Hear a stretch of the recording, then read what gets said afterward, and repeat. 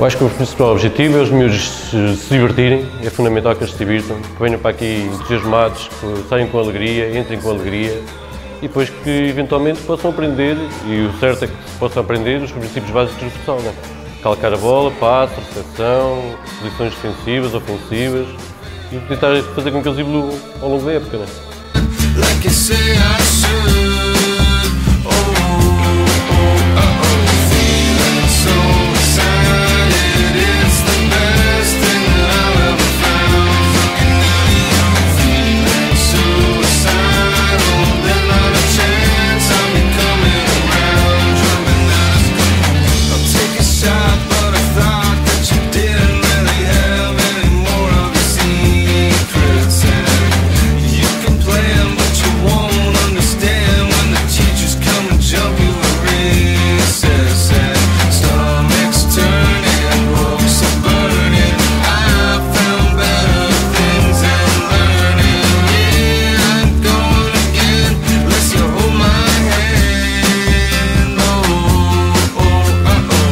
Está, está a ser. Eh, estou a gostar muito mais do que, do que os juvenis, sinceramente. A equipa está.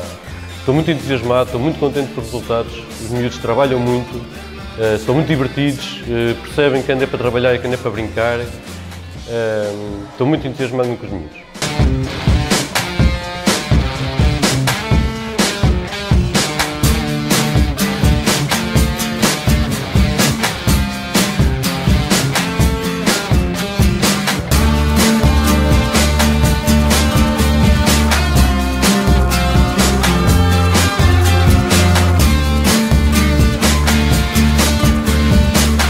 Eles têm qualidade, eles, eh, mas a qualidade também tem que se trabalhar. Os miúdos têm que pensar que, não podem vir para aqui pensar que o treino é só jogar a bola, não, temos que trabalhar todos. Uh, eles têm que acreditar neles próprios, muito, e os, os resultados aparecerão sempre positivos, penso eu. Acho que está a fazer uma boa equipa, eles trabalham muito, estou muito contente com os miúdos.